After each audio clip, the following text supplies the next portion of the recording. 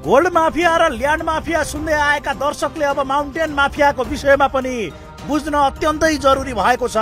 सगरमाथाको चुचुरो भन्दा अग्लो कालो धनको साम्राज्य खडा गर्ने नव धनाट्यहरूको अवैध भित्री सेटिङको पर्दाफास गर्दैछौ जो सेतो हिमालमा सफेद झुटको खेती गरेर राज्य नियन्त्रित पहुँच बनाई शक्तिशाली भएका छन्। यिनीहरूको इसारा बेगर तपाईँ हामीलाई सगरमाथा चढ्न त के बेस क्याम्प पुग्न पनि असम्भव जस्तै छ। यिनीहरूले चाहेमा सगरमाथाको चुचुरो होइन सोलुखुम्बुको नाम चाहिँ नपुग्नेहरू पनि हातमा सर्टिफिकेट बोकेर फर्किन्छन्। जुन गन्दा धन्दाको फ्याक्ट्री यिनै बहादुरहरूले चलाइरहेका छन्। सगरमाथाको नाम नामेट गर्ने गरी भित्र भित्रै धन्दा चलाउने मुखियाको भेषमा माफियागिरी गरेकाहरूको अनुहार चिन्नुहोस्। हामी बाँकी तथ्यमा देखाउने छौँ नम्बर एक मेङमा शेर्पा। नम्बर दुई टासी लाक्पा शेर्पा। यी दुई अनुहार पछि तपाईँहरूले भुल्नै नहुने र पटक पटक सम्झिनु पर्ने संस्थाको नाम हो सेभेन समिट ट्रेक र फोर्टिन पिक जो यिनै दुई दाजुभाइले चलाइरहेका छन्। नेपालको हिमालमा अहिले यिनीहरूकै गोरख धन्दा फस्टाइरहेको छ। सेभेन समिट ट्रेक र फोर्टिन पिकसँग छुट्टै नहुने अन्य संस्था हेली एभरेस्ट र इरा इन्टरनेसनल हस्पिटल हुन्। हेली होटल हस्पिटल र ट्रेकिङ खडा गरेर उड्ने गुड्ने र हिँड्नेसम्मको प्रबन्धमा यिनीहरूकै पहुँच छ जसको सुरुवात हिमाल आरोहण गराउने सेभेन समिट र फोर्टिन पिकले गर्छन्। फेक रेस्क्युको काम हेली एभरेस्ट गरेर सिधै आफ्नो हस्पिटल इरामा ल्याएर बिमा दावी गर्छन्। अर्थात् हिमालमा पाइला हालेदेखि जमिनमा झर्दासम्म आफ्नै संस्थासँग जोडिनु पर्ने बाध्यकारी व्यवस्था गरेका शेर्पा दाजुभाइले सक्रिय रूपमा सगरमाथामा सिन्डिकेट लगाएर आधिपत्य जमाइरहेका छन्। उहाँहरू एक्सपिडिसन कम्पनीको ठुलो मध्येको कम्पनी चाहिँ हो। धेरै सङ्ख्यामा उहाँहरूले चलाउनुहुन्छ। कर तिर्ने भयो भन्दामा धेरै चाहिँ अब चाहिँ उनीहरूले रोजगार दियो भन्दैमा छुट त कसलाई दिनुपर्छ र हामी छुट दिनै हुँदैन त। के केमा चलिरहेको छ धन्दा? नम्बर एक आरोहीलाई नक्कली अनुमति पत्र। नम्बर दुई फर्जी उद्धार अर्थात् फेक रेस्क्यु। नम्बर तिन फर्जी उपचार बिमाबाट रकम असुली। नम्बर चार सगरमाथाको टेन्डरमा एकलौटी हाली मुहाली। नम्बर पाँच अवैध क्रिप्टो प्रवर्धनमा शङ्कास्पद भूमिका। नम्बर छ विभाग मन्त्रालय र हिमाल समय सेटिङ। नम्बर सात गिनिज बुक अफ वर्ल्ड रेकर्ड्समा मनोमानी। नम्बर आठ हिमालको नामै परिवर्तन। अब तथ्य केलाउ। ठुलो अक्षरमा पर्यटन विभाग र सानो अक्षरमा पर्वतारोहण अनुमति पत्र लेखिएको यो कागज हेर्नुहोस् जसको पहिलो नम्बरमा पर्वतारोही दलको नाम fourteen peak experience Everest expedition two thousand eighteen उल्लेख छ। त्यस्तै पुछार नौ नम्बरमा लिएर जाने काठमाडौँ स्थित सम्पर्क अफिस भनेर सेभेन समिट ट्रेक प्राली उल्लेख छ। पर्यटन विभागले दुई हजार चौरात्तर बाह्र महिना तिसमा दिएको यो पत्रमा बाह्र जनालाई सगरमाथा चढ्ने अनुमति दिइएको छ।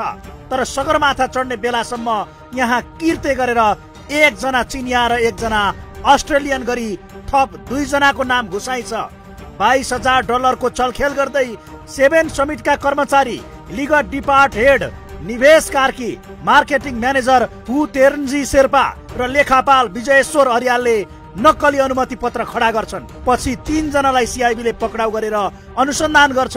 सिआइबीले अनुसन्धान गर्दा छवटा तथ्य खुट्टाएको थियो जसमा निवेश कार्कीले पर्यटन विभागबाट सक्कली छाप लगाएको लेटर प्याड ल्याई सक्कल जस्तै पर्मिट बनाउने जिम्मा लिए। त्यस्तै विजय अर्यालले लेखा मिलाउने जिम्मा र फुर्तेन्जी शेर्पाले चाहिएको ठाउँमा नकली डकुमेन्ट वितरणको जिम्मा लिए।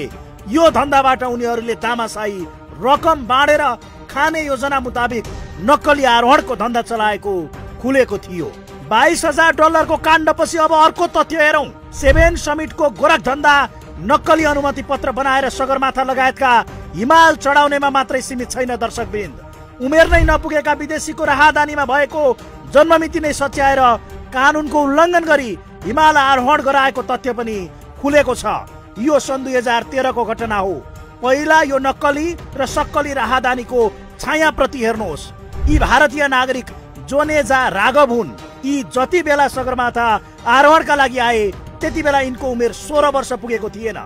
जन्ममिति सन् उन्नाइस सय सन्तानब्बे अक्टोबर एक्काइस भएका राघवलाई उन्नाइस सय सन्तानब्बे जनवरी एक्काइस तारिक बनाएर यिनीहरूले सेटिङमा अनुमति लिएर राज्यलाई चुनौती दिँदै सगरमाथा चढाए। फर्जी उद्धार अर्थात् फेक रेस्क्यू।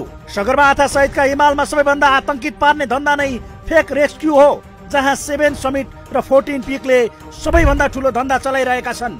यिनीहरूको फर्जी धन्दाले सगरमाथाको चुचुरो छेडे पनि अन्तर्राष्ट्रिय रूपमा देशको छवि धुमिल हुने भयो भन्दै सरकारले दुई हजार पचहत्तरमा लुट धन्दा रोक्न एउटा कार्यदल बनायो। संस्कृति पर्यटन तथा नागरिक उड्डयन मन्त्रालयका सहसचिव घनश्याम उपाध्यायको संयोजकत्वमा गठित कार्यदलले तयार पारेको सात सय पृष्ठको प्रतिवेदनले हिमालमा लुट धन्दा मचाउने तीन हेलिकप्टर कम्पनी र पन्ध्र संस्थालाई कारवाही सिफारिस गरेको थियो। जसमा सेभेन समिटको हेली एभरेस्ट मनाङ एयर र एयर डाइनेस्टी कारवाही सिफारिसमा परेका थिए। त्यस्तै अस्पतालमा सेभेन समिट र चौध पिकले सञ्चालन गरेको न्यू इरा सहित बयोदा र स्वाकन अस्पताल पनि कारवाहीको सूचीमा परेका छन्। यिनीहरू सबैको मिली भगतमा काले काले मिलेर खाउ भालेको धन्दा चलिरहेको छ। मूलत सगरमाथा चढ्दा बेस क्याम्पबाट क्याम्प टूसम्मको बाटोलाई सबैभन्दा जोखिमपूर्ण मानिन्छ। सगरमाथा चढ्दा सबैभन्दा हाई रिक्स हुने ठाउँ पनि यही हो। तर यही जोखिममा डर देखाउँदै सेभेन समिट जस्तो उठाउ धन्दामा सक्रिय कम्पनीले पचास हजार डलरसम्म असुल्दै कानुन विपरीत गएर हेली मार्फत मान्छे सार्ने गरेको सरकारी प्रतिवेदनले नै देखाएको छ। क्याम्प टूसम्म हेलिकप्टर उडानको अनुमति छैन तर माथिबाट बिरामी परेर कोही अशक्त भएमा तलबाट खाली हेली लिएर जाने सुविधा छ। यसैलाई आधार बनाएर माथि नक्कली बिरामी बनाउँदै सेभेन समिट र फोर्टिन पिकले बेस क्याम्पदेखि धमाधम आरोही हालेर माथि पुर्याउने गरेका छन्। सगरमाथामा एक छत्र राज गरिरहेको सेभेन समिटको यो धन्दा ओपन सेक्रेट जस्तै छ।